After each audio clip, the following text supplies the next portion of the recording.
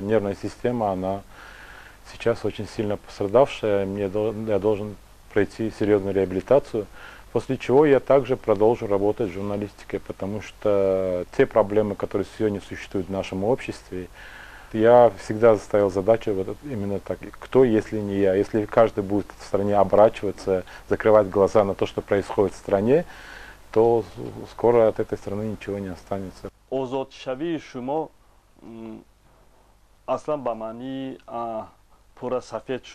Ваша свобода не означает, что вы оправданы. Вас обязали выплатить 124 тысячи сумуни. Еще вам предстоит заплатить 80 тысяч сумуни. Мы уже в первый же день своего освобождения я уже дал интервью, я сказал, что я до, буду идти до конца, чтобы доказать свою невиновность, вплоть до Гаагского суда я могу дойти. В принципе, уже э, кассационной следующей инстанции адвокаты мои подготовили, вроде бы сегодня-завтра мы должны это уже вручить. Но вы верите в то, что добьетесь успеха? Э, я, честно говоря, уже сомневаюсь, потому что две инстанции суда, когда прошло, и фактически без изменений, потому что вторая инстанция только заменила срок на штраф. Только тоже, то есть после того, как мы погасили как бы якобы этот ущерб, в кавычках, то, то они фактически ничего не изменили. Поэтому, а в Таджикистане практика такая, я сам как журналист знаю, вот 9 э, месяцев сидел, я там видел очень много а, людей, которые там обвинялись, э, и они также подавали 2, 3, 4, 2, 3, 4 кассационные жалобы во все инстанции. И когда после двух фактически инстанций, то есть первой и второй, а, судебные решения остаются неизмененным, дальше практически ничего не решается. Очень редко и редко, но я надеюсь, что вот этот редкий случай меня коснется – это просто принципиальная позиция.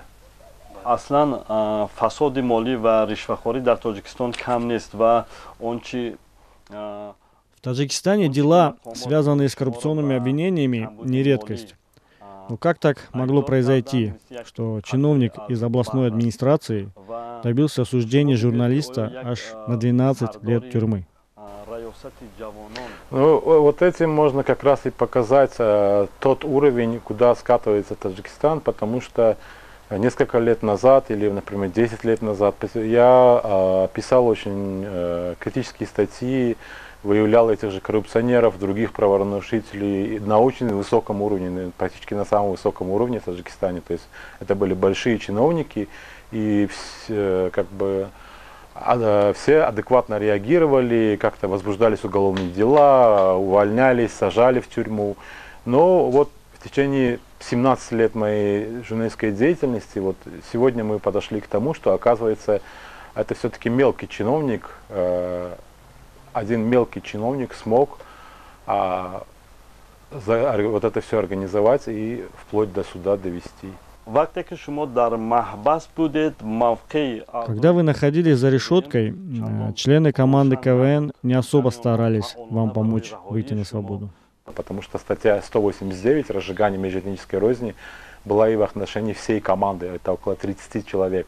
Их тоже все это время гоняли, допрашивали, оказывали давление еще на, на стадии проверки, оказывалось на них моральное давление. Э, кто что может сказать, когда вся команда находится под следствием, а их главарь, то есть я, нахожусь вообще под арестом. Кто что может сказать в этом случае? Высказывали и такое мнение, что, возможно, было бы лучше для всех вас а, ради сохранения команды пойти на сделку. чтобы этот конфликт не раздувался, если было бы у них такое желание, они бы сразу этот вопрос решили, потому что фактически э, те недостатки, которые якобы были, а, то есть это вот исчезнувший отчет, который впоследствии я доказал, что а, глава э, управления молодежи Сагдийской области специально его уничтожил, я его восстановил, я предоставил это прокуратуре, и это было сделано еще в июне прошлого года. Но, к сожалению, после этого они начали копать дальше. А, то есть э, сначала претензия была только то, что нету одного отчета. Потом они после, когда я это вовремя восстановил, они начали копать давайте будем с, с начала года сколько игр. Потом а, они когда там тоже, видимо, ничего не нашли, они прошлогодние, то есть 2016 год подняли, а потом сказали под конец, что мы будем э, э, как бы проверять всю вашу четырехгодичную деятельность. Я и в суде говорил, где вы видели преступника, который каждый день сам ходит в прокуратуру и стучится к ним в двери. Пожалуйста, пораньше завершите свою проверку, чтобы мы... Как к вам относились в СИЗО? Э, никакого давления в моем отношении не было, потому что с первого дня уже буквально со, с момента ареста и прокуратура знала, кого они арестовывают, и я три дня был в изоляторе временного содержания агентства по контролю за наркотиками. Кстати, достаточно уютное, хорошее место, ну, по сравнению с теми ИВС, которые я слышал другие. То есть там было отопление, в три дня я там был один во всем ИВС, и три дня для меня работало отопление, потому что это был уже декабрь. Вот э, самое сложное это когда человек один, потому что, а когда людей много, то есть день проходит э, быстро.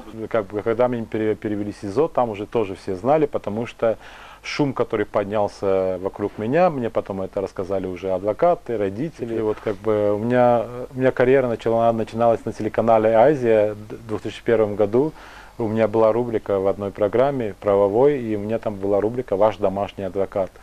Я когда как бы уже в СИЗО, я говорил, когда консультировал их, я, я сказал, я говорю, вот была такая история, теперь я стал ваш тюремный адвокат. Вот, потому что многие из них не имеют э, вообще никакого правообразования, и тем более у них нет средств для вообще, э, чтобы нанять адвоката. Соответственно, как бы у них не было элементарных, э, они не знали элементарных прав, и я в этом плане многим из них помогал.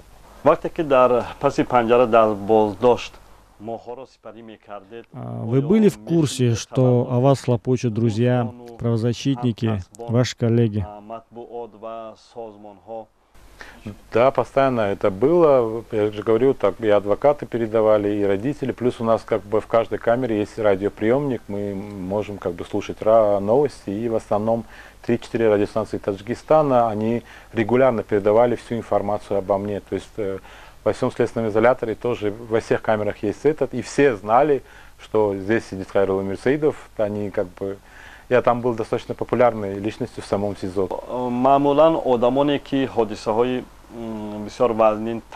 Часто бывает так, э, что пережившие, подобно вашей истории события, люди впадают в депрессию, э, даже покидают страну.